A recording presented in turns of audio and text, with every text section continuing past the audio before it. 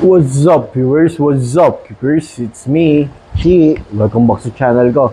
Tara, samahan nyo ako sa isang bagong vlog. Pero bago ang lahat, papasukin natin ang intro. Intro, pasok.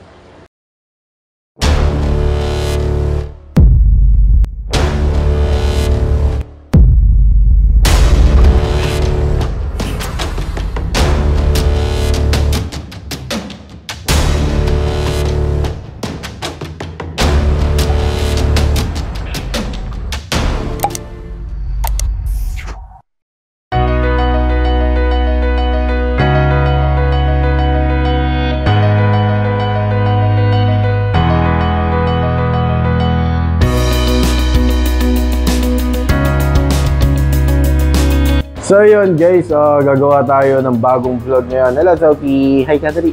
Hi ka baby! Hi! So yun, uh, gagawa nga tayo ngayon ng enclosure para dun sa mga alaga akong sulkata. So DIY lang to. Pipilitin kong mapakita sa inyo ng detalyado kung paano ko gagawin and sana magawa ko ng maayos dahil first time kong gagawin to, okay? Subukan ko rin ibigay sa inyo ang detalye ng mga presyo na gagastusin para magkaroon kayo ng idea kung maisipan nyo mag-DIY. So tara, umpisahan natin. Pakita ko sa inyo kung ano yung plano ko.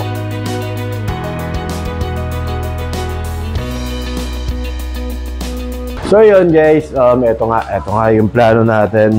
Nandito yung layout ng sukat, pati yung mga mga putol na gagawin ko, okay? So ang sukat na gagawin ko is 48 by 20 by 20 inches. 48 yung length, 20 yung width, 20 yung height. Okay? Tapos sliding glass yung uh, magiging viewing ko. So gagamit ako dito ng tatlong pirasong 48 by 20 inches, 19.25 by 20, dalawa, 46.5 by 7, isa. 46.5 by 3, isa. Okay? So, eto naman yung gusto kong maging kalabasan. Credit kay Chong Jason Castro kasi ganito yung ginawa niya nung nakaraan nung nagsulkata siya. Lang, ganun lang kasimple. Tapos dito maglalagay tayo ng sliding glass. Okay? So, ayun. Tara, umpisa natin. So, ayun. Nakalatag na dito yung 8 feet by 4 feet natin na, na 3-4 marine plywood. Okay? Ang bili ko dito is 1,350. Marine na po yan. Susukatan ko tapos puputulin ko na. Okay guys, so yun. Tara, umpisa na tayo. Ang unang gagawin ko is hahatingin ko sa gitna itong 8 feet natin na 3/4 marine plywood.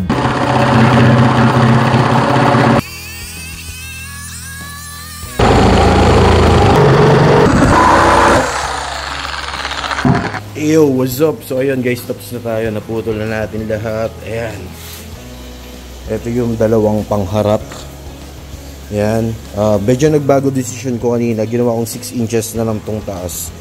Tapos ito 4. Parang 3 inches yata yung kanina. Okay? So, ito. Ito yung gilid.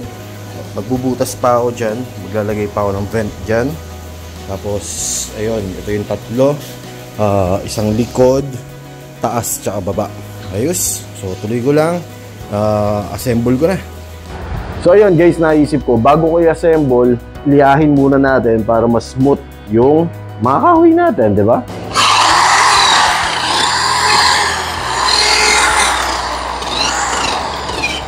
So ayun guys, i-assemble na natin. Medyo mahirap gumalaw dahil wala akong katulong humawak. Pero ayan, subukan natin. Ilapat ko na lang dito sa aquarium ko. So na pre-drill ko na to. Hirap ano, hirap mag-isa.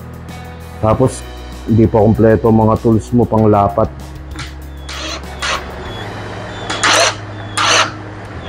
Yun, okay. Pasok. So ganoon na. Uh, siguro mga lima lang dito. Tapos rock na.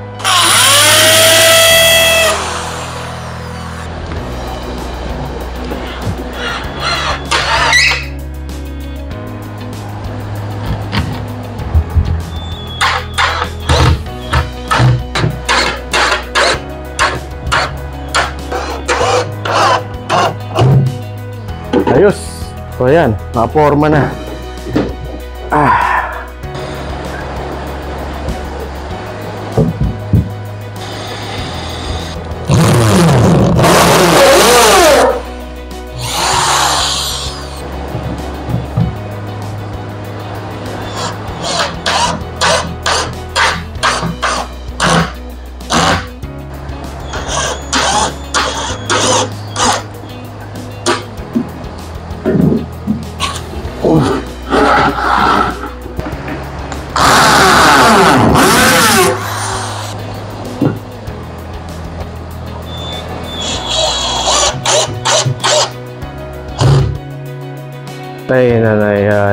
Nagdi-DIY ako dito. Ayan o. Oh. Nasa tabi ko na. Apaw pa din. Ay, buhay.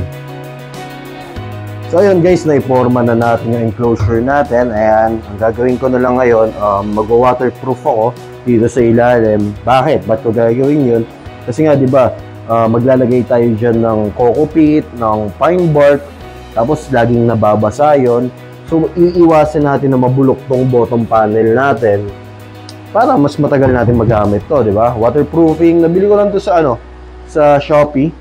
Yan, di ko alam kung effective pero mas okay na yun, meron kaysa wala. Tapos ang gagawin ko next is pipinturahan ko siya buo.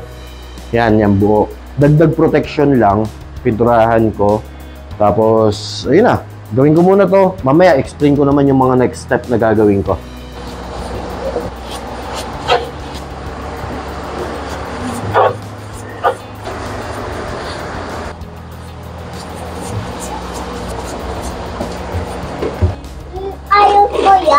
Yes. May hayos yan. Siyempre. May hayos mo. Oo. So ayun guys, umpisa na tayo mag-paint. Um, ito munang labas. Kasi yung loob, pinapatuyo pa natin waterproofing. So ang gagamitin ko, ito. Ito, gantong kulay. Ito yung available dito sa bahay. So ayoko nang gumastos. Uh, ito na lang gagamitin natin.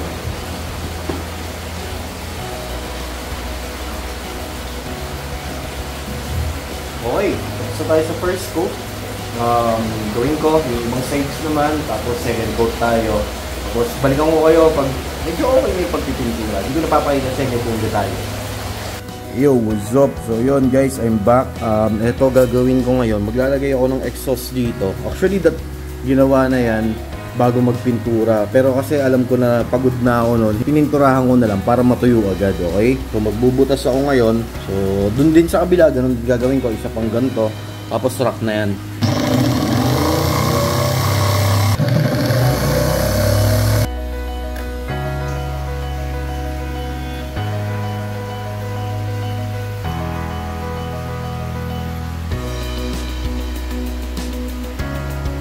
Very good oh.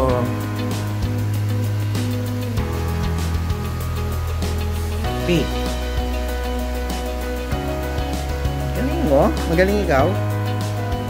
Yo, what's up? So yun guys, ito naman ang next na ginagawa ko. Um, ito yung magiging ibabaw ng enclosure natin. So yung nabili ko, kala ko marami na. Bitin pala. Ayan oh. So apat lang. Pwede rin kayo gumamit guys ng insulation. Yun, okay rin yun. Pero ito yung naisip kong gamitin. Kaso nga mali ako, kulang yung nabili ko. Kala ko kasi mahaba na. Okay guys, ito naman ang next na gagawin natin. Ang gagawin ko is i-install ko na yung magiging lighting natin. Okay? So dalawa yan, ang mangyayari, isang UVB, tapos isang CHE. Okay? Wala akong UVA. So ang gagawin ko, ito nga, bumili ako nito sa Shopee. Actually mura lang to kasi kesa dun sa mga nabibiling dome light na branded para sa reptile. Tingin ko pareho lang naman ang purpose yon. So yan ang naisip kong bilhin, mas maganda pa itsura. So ikakabit ko yan dito. Yan, kabit ko yan dito. Tapos magbubutas ako dito para labasan ng wiring natin. Okay? So yun guys, eto na kinakabit na yung salamin natin. ito yung medyo madugong presyo dito sa project natin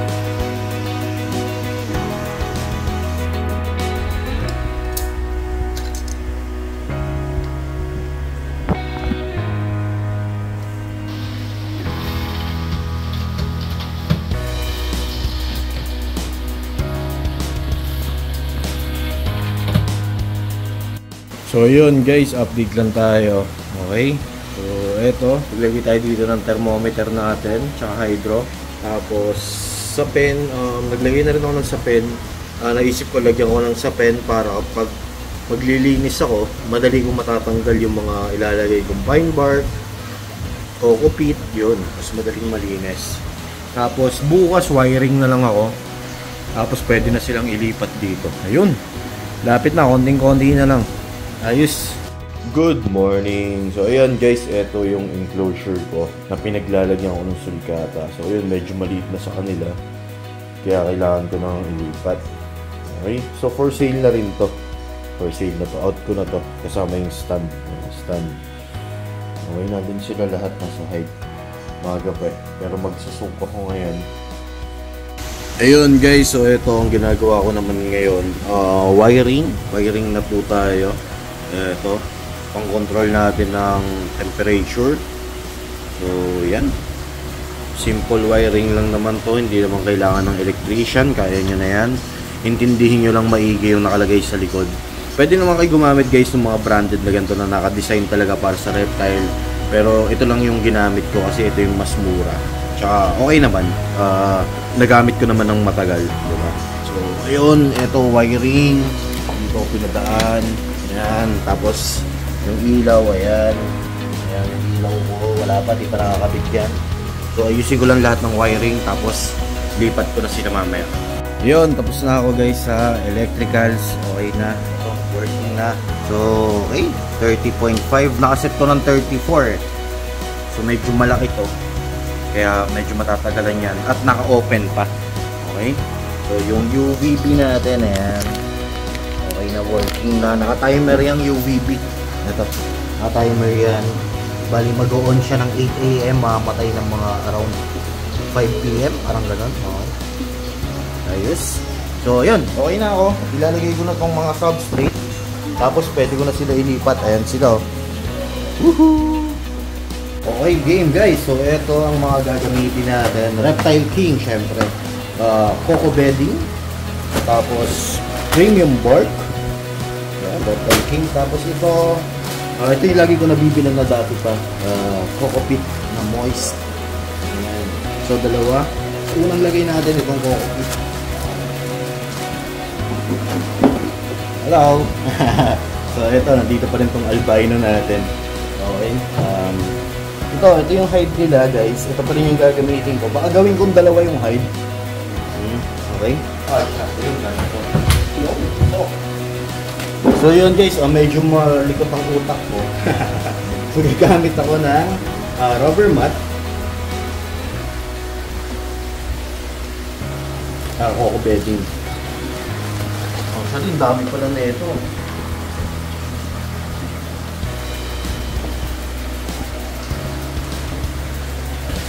Yo, what's up? So yun guys, tapos na tayo. Okay? So ililipat na natin yung mga sulkata natin. So isa-isayin natin ha. So ayan, ayan sila. Apat na sila, no? Hindi na ako nakapag-update. Okay? So yan, apat. So sila yung mga lilipat natin dito sa bagong gawa nating enclosure. Okay, tara, lipat natin. So eto na, eto na yung pinakamalaki natin. Kung maalala nyo dun sa in-upload ko, eto si Dustin. Okay.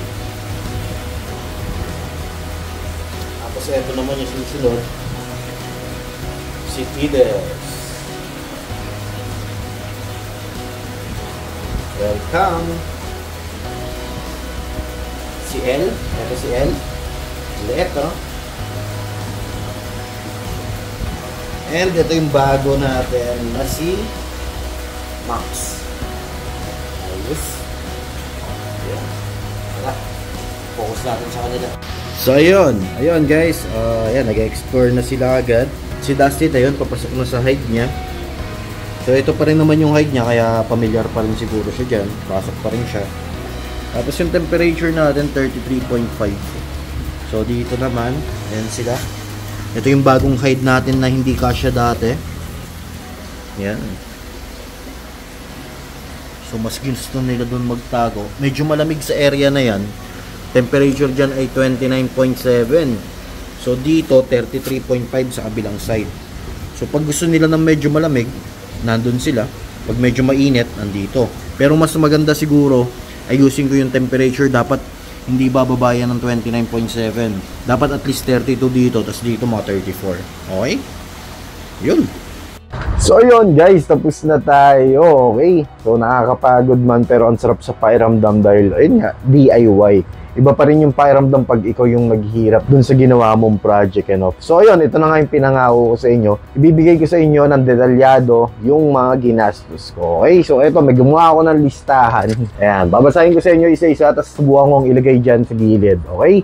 So, unang ginastos ko dito, yung plywood na 3/4 marine. 1,350 po ang bili ko doon. Next naman na ginastos natin dyan ay yung sliding glass. So, hindi po ako yung gumawa ng sliding glass mismo. Ah, binili ko po yon sa mga nag-aluminum shop. Ang siningil po sa akin doon ay 2,000 kasama ang installation. Okay? So, 2,000 tsaka 1,350. Digital Thermo 1, Digital Thermo 2. Actually, marami akong thermo doon. Thermo Hygro.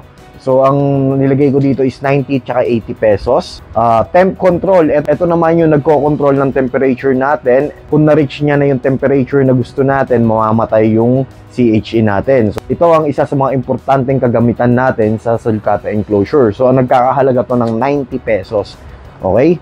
So, downlight. Ito, downlight ko yung malaking lagayan ng bumbilya. So, yung dalawa na yon nagkakahalagang 700 pesos. 350 ang isa. Okay?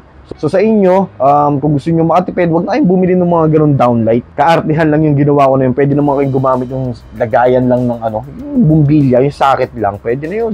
Um, pero kung meron naman kayong budget, bumili na rin kayo nung sinabi ko dun sa vlog nga na meron na bibili na naka-design para sa mga reptile. Pero yun, mas mahal talaga yun. Uh, okay, next naman natin. Etong Reptisan UVB 10.0.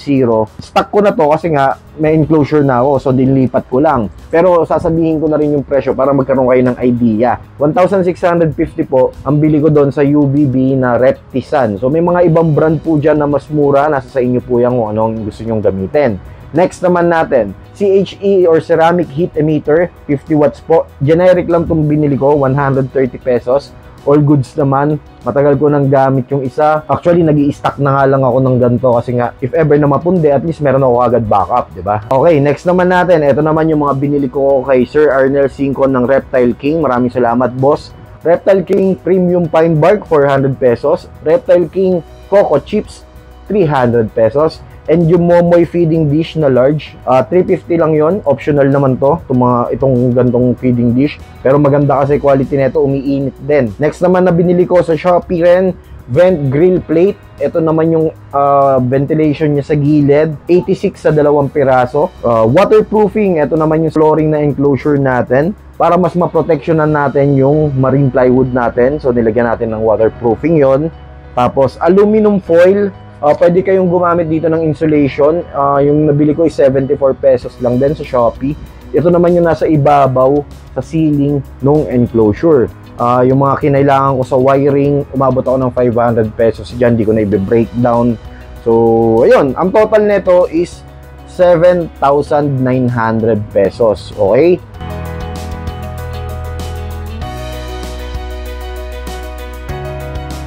So kung tatanungin nyo ako kung sulit ba to, para sa akin, medyo mataas yung ginastos ko, no? Kasi nga, ah, from scratch to eh, from wala kang stock.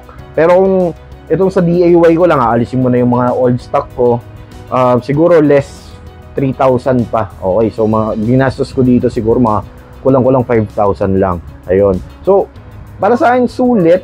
Pero kung wala kayong oras at meron naman kayong pambili, bili na lang kayo ng mga enclosure. Marami namang gumagawa dyan. Meron din ready-made si Sir Arnel 5 na, na PVC. Ang ganda nun. Imported pa, di ba?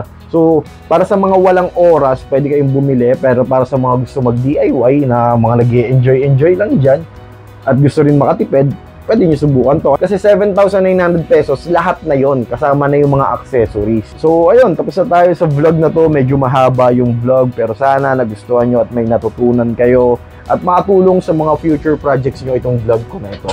So, again, sa mga gusto ng mga ganitong klaseng content, pwede kayo mag-subscribe dito sa YouTube channel ko at i-share, i-like ang mga video ko. Okay, maraming salamat ulit.